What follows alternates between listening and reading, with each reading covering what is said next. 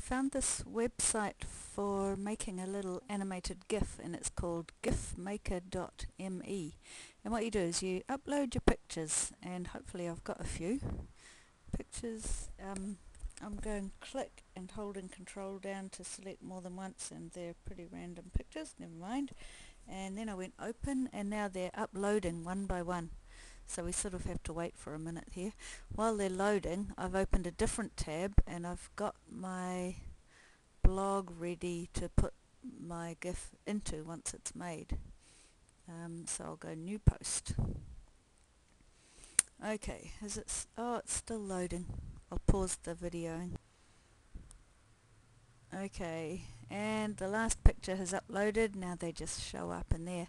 And they've automatically put themselves over here into the animation. It's set itself a size and a speed and because I don't know what it's going to turn out like I've just left all the settings as they are and I go create now. It says wait a moment and then uh, download the GIF image now and it's put it down the bottom of my screen not sure if you can see that, but it's just downloading it.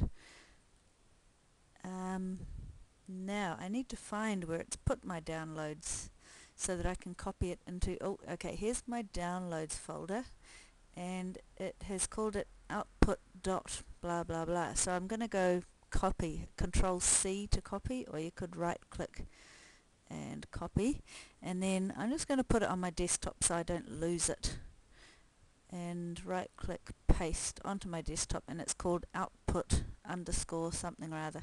So now back to my blog and I'll give it a title which is something sensible.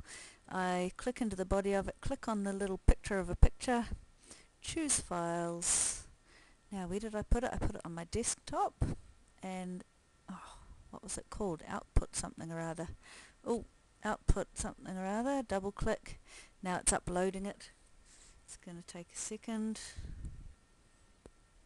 and it's finished uploading and I can now go add selected and it's putting it in my blog and it's kind of shrunk it to what size it thinks. I muddled it up a bit because I've used some photos that were landscape and others that were portrait which is a bit weird but let's see what it looks like when I publish it. Oh, come on. View blog. And there's my little animated picture. Stupidly resizing itself because my pictures aren't all the same size. Hope that works.